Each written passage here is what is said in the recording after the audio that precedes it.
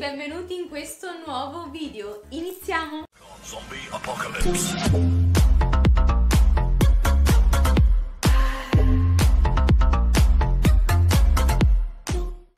In questo video parlerò di tutte le scarpe di tendenza e quindi di tutti i modelli must have delle sfilate. Sneakers, i sabot, stiletti vertiginosi, ballerine, il must infatti è indossarle nude e il raso, i camperos, Che tocca a me ora? bellissimi con gonne oppure jeans a vita alta e altri modelli ancora che andremo a vedere più dettagliatamente. Primo modello sono le scarpe con il tacco, sandali scultura, sabot vertiginosi, mules ed anche Mary Jane. Mary Jane sono le scarpe chiuse davanti che possono essere sia basse che alte con il tacco grosso e con i cinturini intrecciati intorno al collo del piede. Li troviamo in pelle ed anche in versione tessuto impreziositi da cristalli, ricami e applicazioni. Il denominatore comune qual è? Farsi notare. Secondo modello le décolleté e le sling back. In cosa consiste? Consiste in tacchi a spillo e punta fusolata con inserti di pelle anche qui,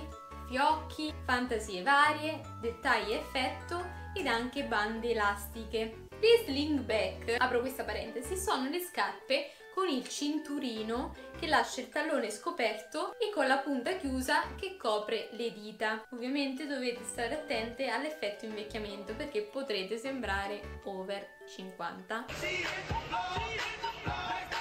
Se siete amanti dei tacchi e sopportate il dolore, vanno benissimo le décolleté vertiginose. Se invece non siete tipi da tacchi, siete tipi più comode e più semplici, allora optate per le sling pack basse e andrete sul sicuro. Un altro modello sono i sandali. I sandali sono un must have da avere obbligatoriamente nel proprio guardaroba. Li troviamo a bande incrociate, a listini sottili e a fascia. Il tocco cool e audace qual è per indossarli? È mettere un calzino come ci suggerisce la Maison Fendi. Passiamo ad un altro modello, ossia le scarpe con plateau e dalle zeppe. Questi sono i modelli in assoluto più versatili, strategici, perché riusciamo ad essere alte, soprattutto noi ragazze piccoline, ma nello stesso tempo comode. Si vestono di nuance vitaminiche e di pattern motivi variegati. Passiamo ora ai mocassini.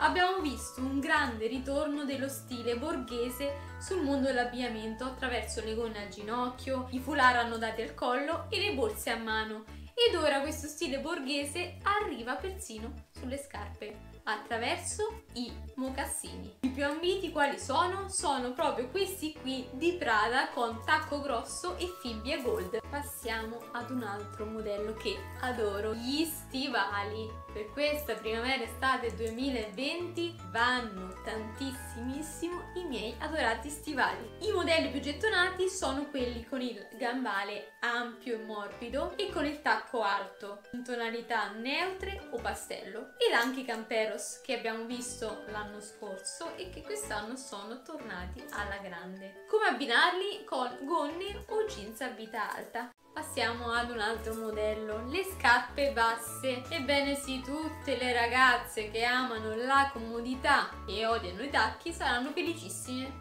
perché sono tornati tutti i modelli flat, le classiche ballerine con o senza cinturino, i sabot in pelle, raso, tessuto, le spadrillas e i loafar, una sorta di mocassino ballerina. Possiamo vedere questo modello di Giambattista Valli. Passiamo ora alle sneakers. Lo stile sporty chic inonda non solo il mondo dell'abbigliamento ma anche il mondo delle scarpe. Sono state riproposte le chunky sneakers, chiamate anche simpaticamente ugly sneakers, cioè scarpe brutte, proprio per la loro forma, cioè la suola spessa e di gomma. Solo che a forza di vederli in mille riviste di moda o sulle foto che scorriamo su Instagram, ora sono diventate le scarpe più in. Tornano anche le scarpe da tennis in suede, in tessuto o in pelle. Taratatan!